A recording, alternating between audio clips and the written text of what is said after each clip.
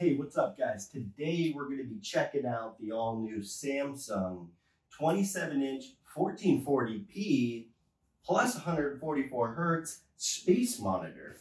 So I'm going to be setting this guy up. I just got it in, super excited. And we're going to be testing that alongside the HP 25X that you guys watched me unbox and test out in the last video. So let's dive in, let's check this baby out.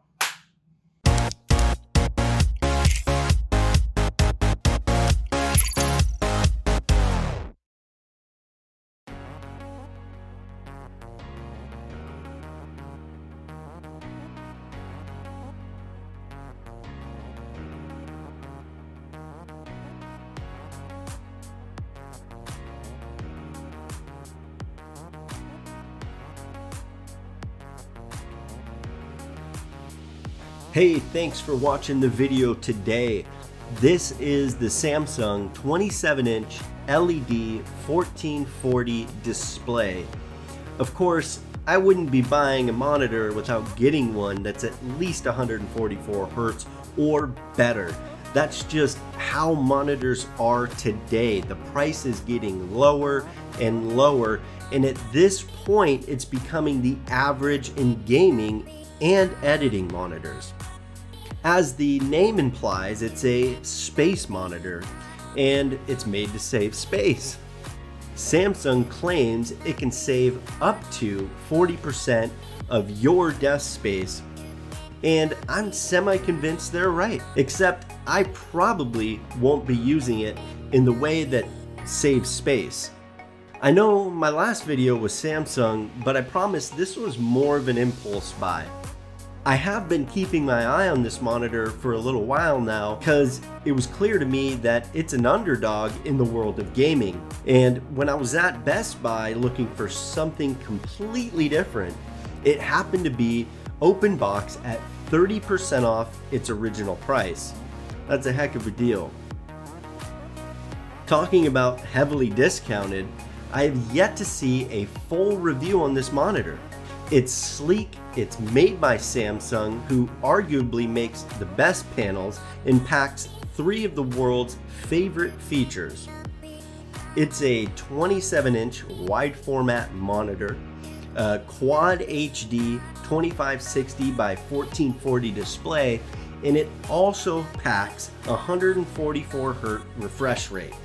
Now, what sets it apart is the mounting the ability to adjust where the screen sits on the desk. The wire management in the back is extremely helpful and the menu is super easy to navigate with a joystick button. A couple of the important features are the near bezel-less display with three sides being edge to edge. It has a buttery smooth hinge that's extremely durable and extremely easy to mount. That mount is also padded so it won't damage your desk. But are all of these things important? That's what I wanted to explore. That's why I picked up this monitor today and I tested it on a few games and a little bit more for you guys to check out.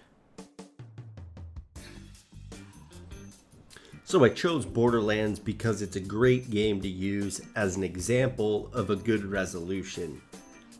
It has extremes in colors, good texture detail, in a fast-paced shooter type game mode and it's by far one of the most advanced in that arena right now in gaming. Now if you notice the particles in the air, I know this is a small detail but when I use a lower quality monitor those texture details don't really come out in full.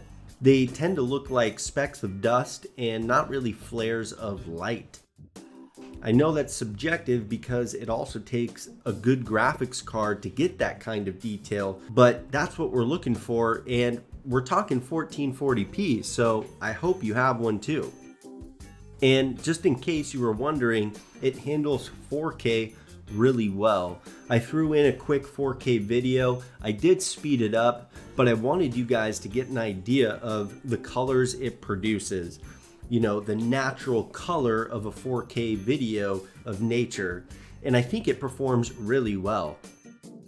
So if you're a streamer, whether it's gaming or just streaming you, yourself, your personality, this is definitely a good monitor for you. You can do picture in picture for your stream chat while you're gaming or while you're streaming and it has a huge viewing area for editing videos before you actually upload them. This was definitely an easy monitor to set up.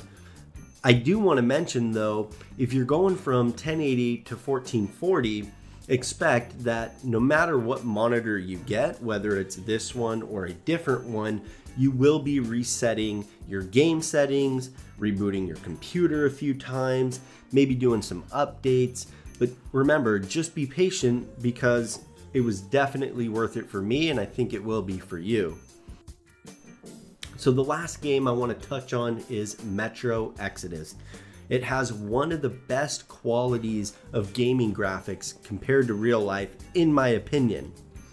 I get great depth of field while playing, and it has amazing texture details. Now, I didn't fire up the HP 25X for this video, but I do have some side-by-side -side that I can use here from a previous video to show you guys the difference in monitors playing Metro Exodus. Check this out real quick.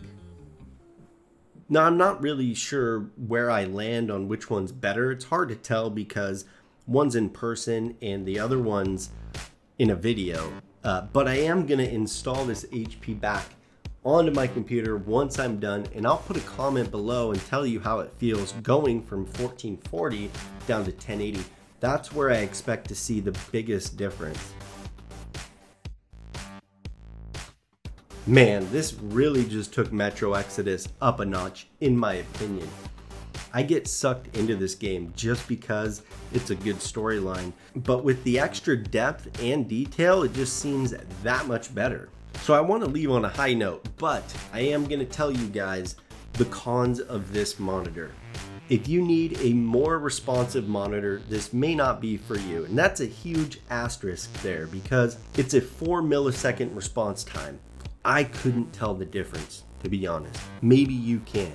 Second, it's not really considered a true gaming monitor, although it performs like one. The specs match what a gaming monitor would be able to do. Third, it doesn't swivel or adjust up and down in just one stationary position, although it does adjust. It just doesn't do it while it's stationary. And last, perhaps the only actual drawback is that the DisplayPort input is a mini DisplayPort. But I will say the HDMI does produce 144 Hz regardless. It's just a pain that I yet again have to go buy another cord because it didn't come in the box. Although the HDMI cord that works with this monitor did come in the box. Really, what determines if this monitor is going to be good for you is use type. The price is great. The price to performance versus the HP 25X is amazing. You get an additional three inches. I mean, you get the 1440p and you retain 144 hertz. I personally had a really easy time setting this whole thing up and it's honestly fixed a few things for me that I was having issues with. For example, the HP was tearing the screen on my Adobe Premiere Pro every single time I was running at 144 Hertz. So I had to right click, change the refresh rate, and then I could go back into Adobe and it was kind of annoying. So getting that ability out of this right away at 144 Hertz is worth it to me. Right now at Best Buy, the HP is $289.99 and the Samsung 27 inch space monitor is $329.99. Now that $50 difference to me is well worth it. And if this guy goes on sale again for $289.99, that's gonna be an even better deal. So I'll put the link down below for you guys to check this out. I really do think this fits a lot of people's budget that are looking for 1440p and it fits the use type to be honest. Gamer, streamer, content creator, editor, photographer, all of the above. It does everything. So hey, if you've made it this far in the video, definitely give it a like and subscribe to our channel. Your support is what allows us to keep making this content, so we appreciate it very much. We'll catch you in the next video.